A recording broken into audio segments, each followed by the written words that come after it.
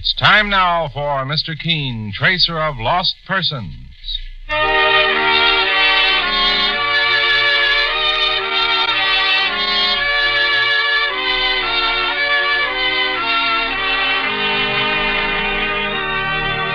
Ladies and gentlemen, Anacin and Kolynos present Mr. Keen, Tracer of Lost Persons, one of the most famous characters of American fiction in one of radio's most thrilling dramas. Tonight and every Thursday at the same time, the famous old investigator takes from his file and brings to us one of his most celebrated missing persons cases. Tonight's case is entitled The Eccentric Millionaire Murder Case.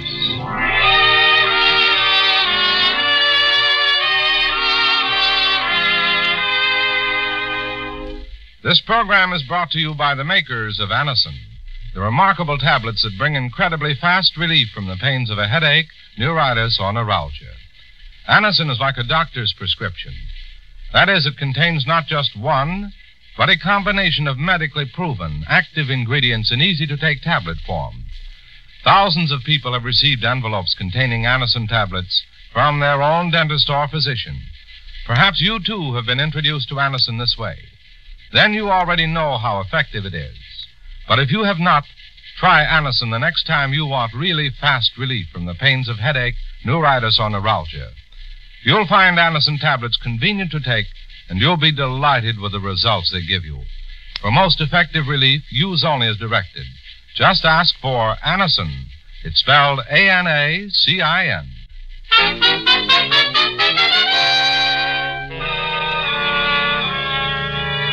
Now for Mr. Keen and the eccentric millionaire murder case. Our scene opens in a large, rambling house situated in a woody section of Pennsylvania. In one of the littered, unkempt rooms, an old man is seated at the telephone, trying to get an urgent message through to Mr. Keen, the celebrated investigator. A message which is destined to lead to a fantastic murder. Hello, operator. I want to put a call through to New York. No, I don't know the number. I I want to call Mr. Keen, the famous investigator. Yes, yes, operator. I'll hold the wire. But hurry, please. It's very urgent.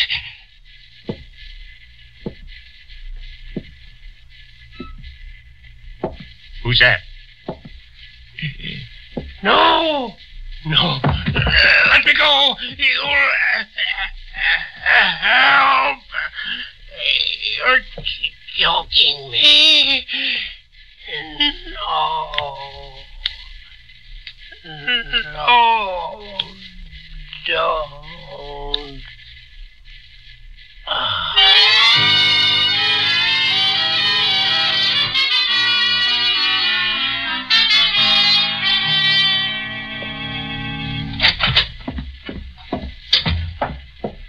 Mr. Keen, sir? No, I'm his partner, Mike Clancy. You wish to see me? Mr. Keen? Yes. My name is John Prague. I've come to you for help, sir, in regard to the murder of my brother. Murder? Saints preserve us. I didn't read anything about a murder in the Smalllands papers. Otis was strangled to death in his home in Pennsylvania. Mr. Keen, I haven't slept for two nights, but I knew how urgent it was to see you, especially since Otis was trying to reach you just before he died. Your brother tried to contact me? Yes. Your name was found on a small slip of paper near the telephone. Oh. They found Otis's body on the floor nearby. I told the local police I'd come to New York and contact you. Mr. Keen, I'm frightened.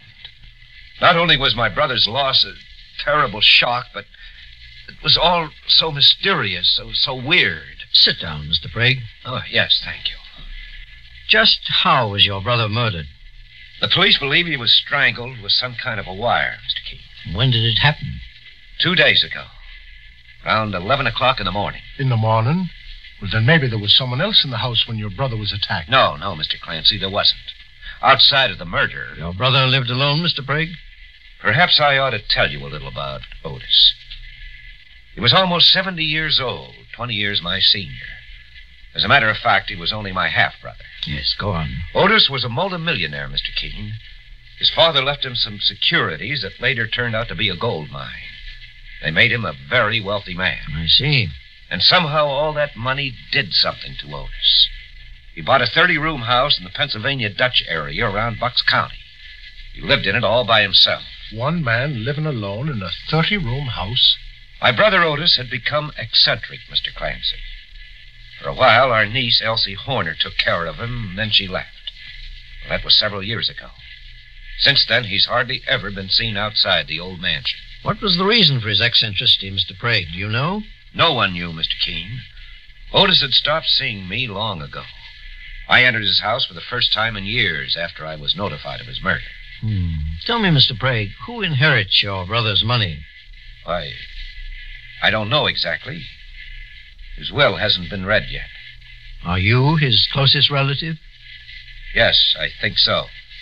Mike, how soon do you think we can leave for Pennsylvania? Well, just as soon as we clean up the details on the Jordan case, boss. I'd say sometime this afternoon. Well, Mr. Keen, do you want me to wait and drive you and Mr. Clancy out there? No, that won't be necessary, Mr. Prague.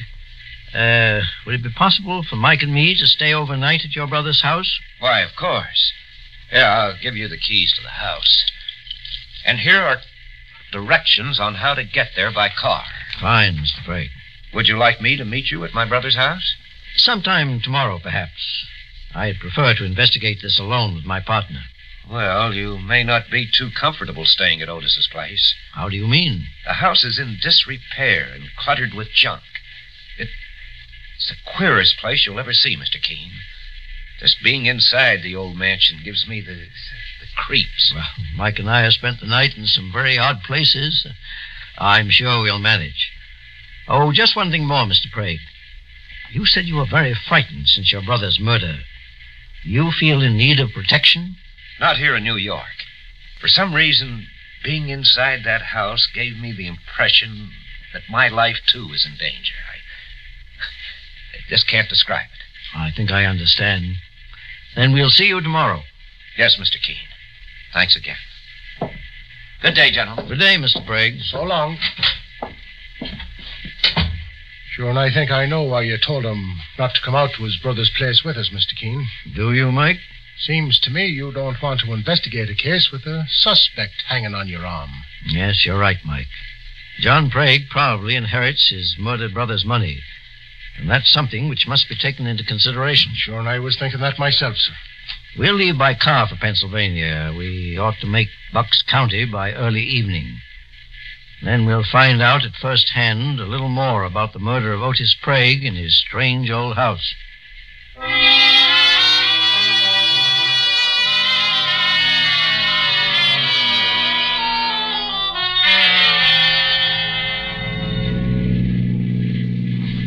Otis Prague's house should be right around the next bend in the road, Mike. Sure, and it's gloomy out here in these parts, Mr. Keen. Yes, you're right. Oh. There's the house now, boss. Hmm. And just look at the size of the place. A man could get lost living alone Mike. in a.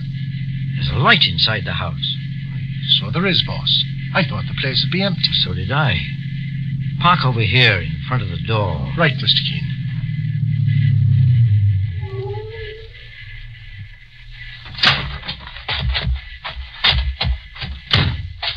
Think John Craig may have come here ahead of us after all, boss? But how could he have gotten in? He gave us the keys. Maybe I'd better keep my gun handy. Oh, Mike, don't use the keys. Ring the front doorbell instead and see what happens.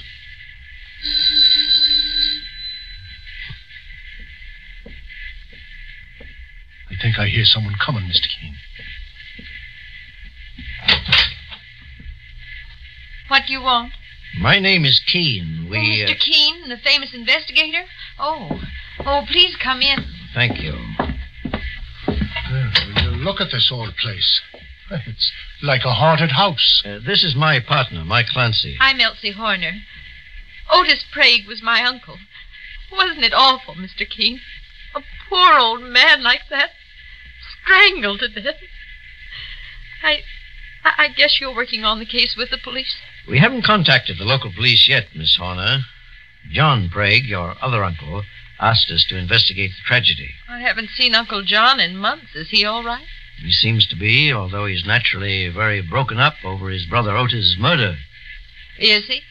Well, I didn't know they were so fond of each other. May I ask what you're doing here in Otis's house, Miss Horner? Oh, I came to straighten it up. The house is going to be sold, you know, and I want to get a good price for it. You want to? The house was left to me in Uncle Otis's will, Mr. Keen. I spoke to his lawyer this morning. I took care of Uncle Otis for years. And he was kind enough to remember me. Hmm. Miss Horner, do you know anything else concerning the terms of the will? Well, I get some cash. Not nearly as much as Uncle John gets. My goodness, he comes into almost all of it. Well, that's interesting. I think we'll look around. What was that? Sounded like the horn in our car, boss. Go out and investigate, Mike. Yes, sir.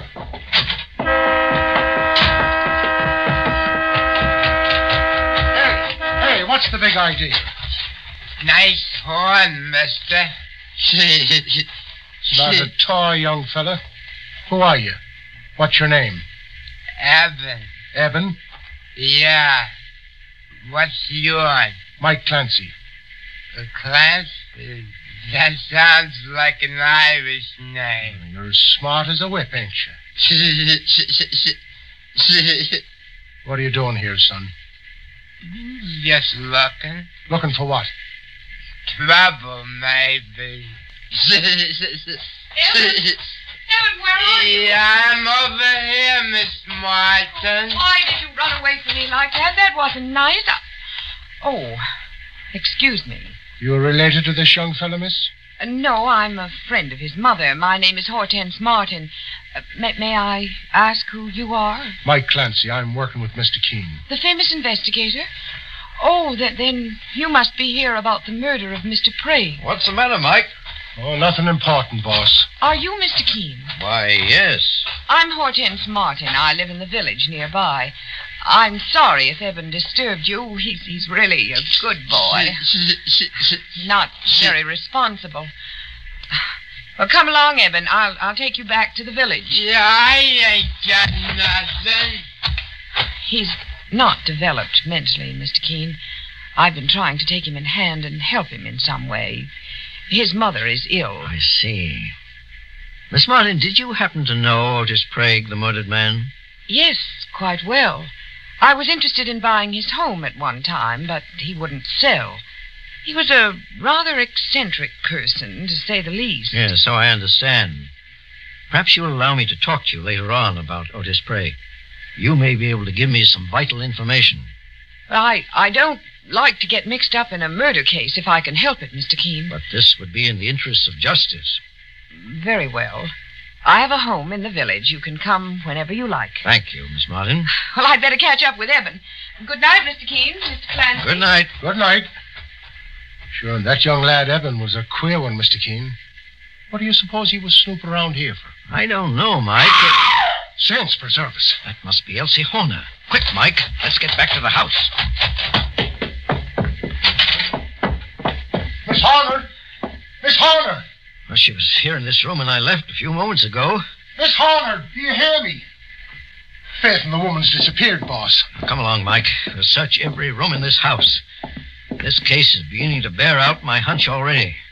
We're involved in one of the weirdest situations we've ever encountered.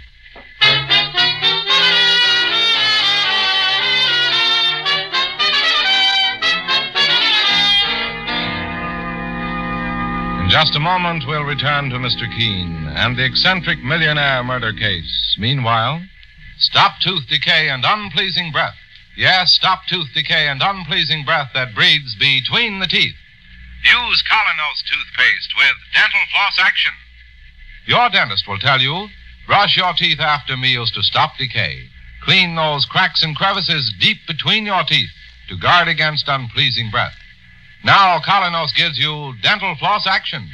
That is, sends thousands of active cleansing bubbles to help dislodge bits of food that can cause unpleasing breath. What's more, foamy, refreshing Kolynos brightens teeth by removing ordinary yellow surface stains, helps stop tooth decay.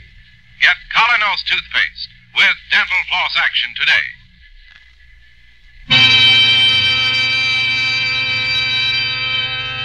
Now back to Mr. Keen and the eccentric millionaire murder case.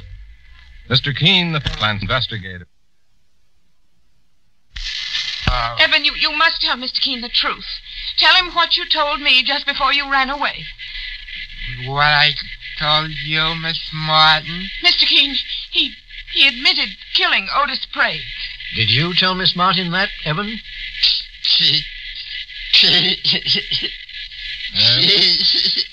Looks like our murder mystery's solved, boss. We better be taking this lad Evan to the local police. Perhaps you're right, Mike. Miss Martin, knowing Evan as you do, would you have any idea as to why he killed the old man? Evan isn't responsible for his actions, I guess, Mr. Keen. Otis Prague was his friend. He took pity on Evan. Evan was the only one he ever permitted in this house.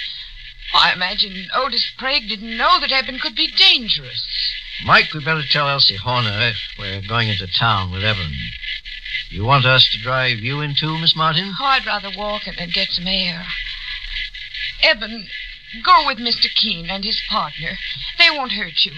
And I'll come down to the police station tomorrow and, and talk to you. We're going to the police station? Yes, come along, Evan, We'll have a friendly talk on our way to town.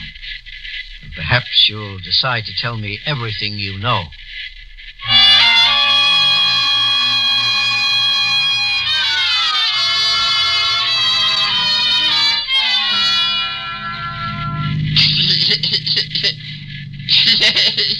Sure, and I feel sorry for this boy, Evan, Mr. Keen.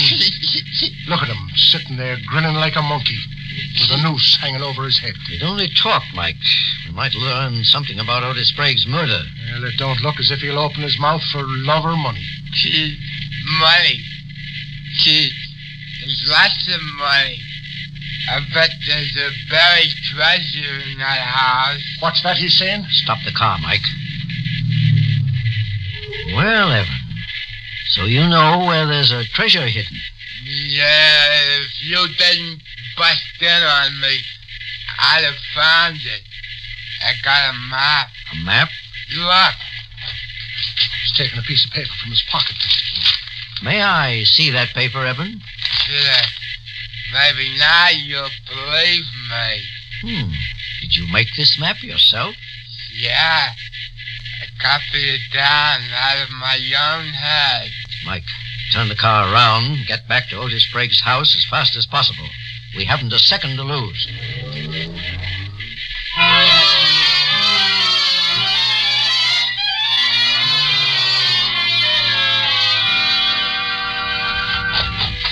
Do you think it was safe to leave Evan alone in that car, Mr. King? He isn't as dangerous as some people would have us believe.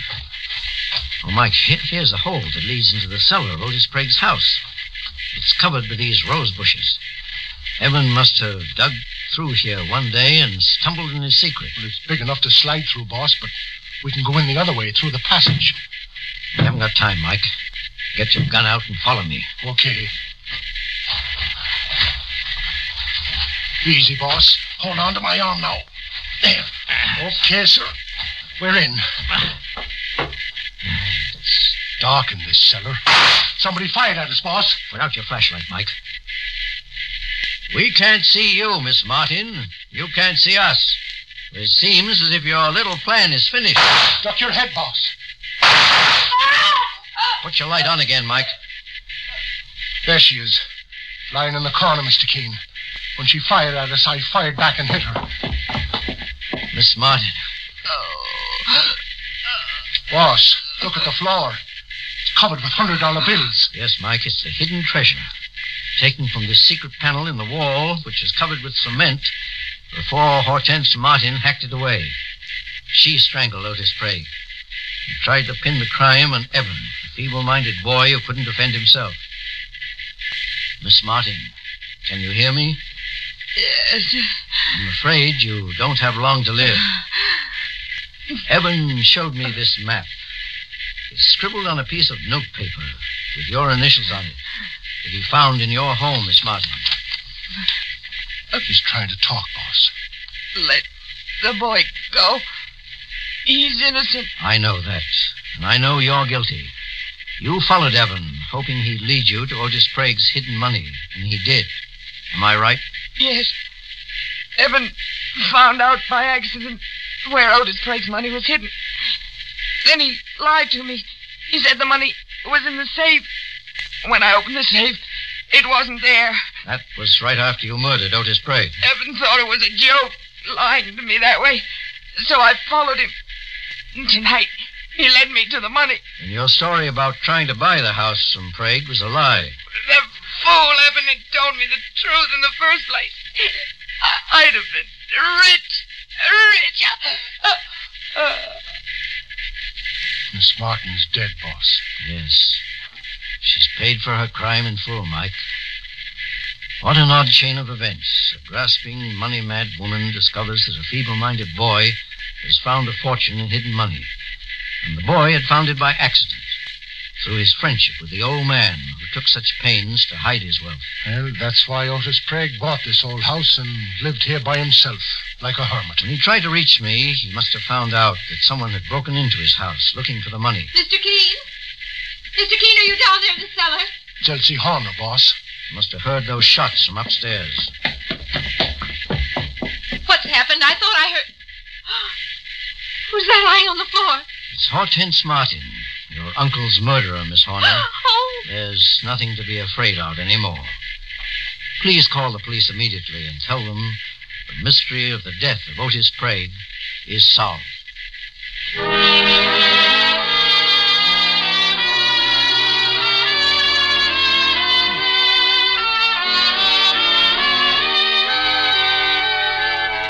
And so Mr. Keen finds the solution to the eccentric millionaire murder case.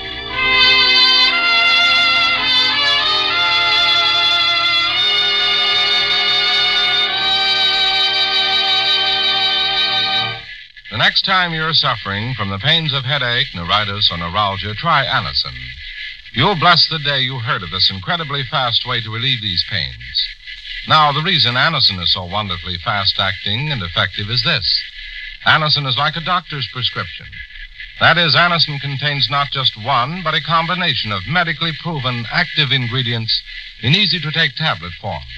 Thousands of people have received envelopes containing Anacin tablets from their own dentist or physician, and in this way have discovered the incredibly fast relief Anacin brings from pain of headache, neuritis, or neuralgia. So next time such pain strike, take Anacin. For most effective relief, use only as directed.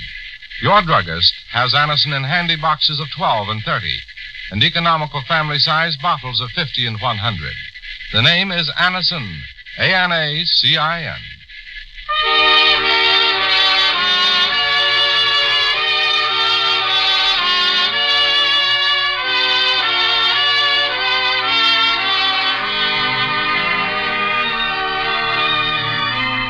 Mr. Keen, Tracer of Lost Persons, is based on the novel Mr. Keen. The radio sequel is originated and produced by Frank and Anne Hummert. Dialogue by Lawrence Klee. Bennett Kilpack plays Mr. Keen. It is on the air every Thursday at this time. Don't miss Mr. Keen next Thursday when the kindly old tracer turns to the Country Club murder case.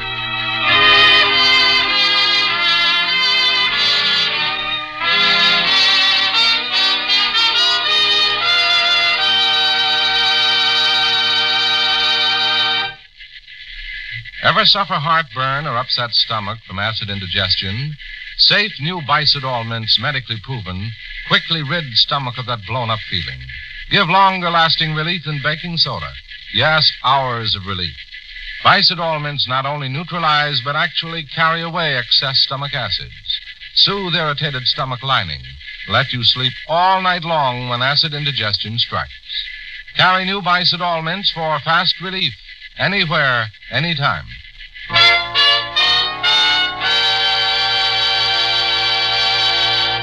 Mr. Keen, Tracer of Lost Persons, will be on the air next Thursday at the same time.